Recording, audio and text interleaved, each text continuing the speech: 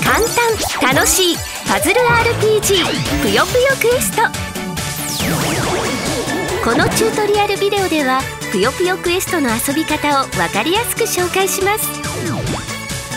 ぷよぷよクエストでは2つのモードが遊べます。クエストは相手チームを倒してステージを進んでいくモード。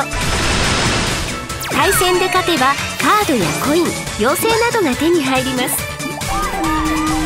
テージの最後にはボスバトルに挑戦。頑張って手強いボスをやっつけてくださいね。大勝利。クエストをクリアすれば次のマップへ。遊べる世界がどんどん広がる。それがクエストです。そしてもう一つのモードがぷよぷよクエストの他のユーザーと対戦できるバトルです。リストから対戦相手を選んでいざ勝負ぷよ仲間たちと熱いバトルを繰り広げましょう。そしてこの2つのモードの他に忘れてはいけないのが友達と協力して遊ぶギルドです。ギルドのメンバーとサポートし合えばクエスト攻略の大きな助けとなりますよ。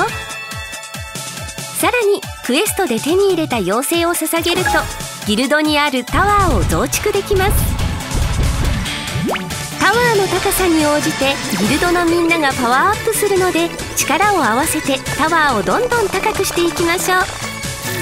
タワーボスやギルドイベントのボスなど1人じゃ太刀打ちできない強力な相手には仲間と協力して立ち向かいましょう。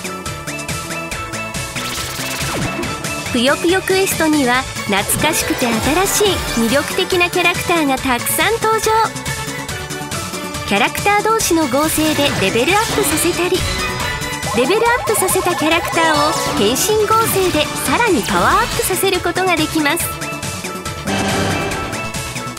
カードの種類はなんと500種類以上。コンプリートを目指して頑張りましょう。属性やスキルタイプなどそれぞれのキャラクターの特徴を考えて最強のデッキ編成を目指しましょう。曜日ごとのスペシャルクエストやギルドイベント。さらには期間限定のイベントクエストなど楽しいイベントも随時開催。なぞって消して簡単操作で大連鎖。簡単楽しいパズル RPG ぷよぷよクエスト。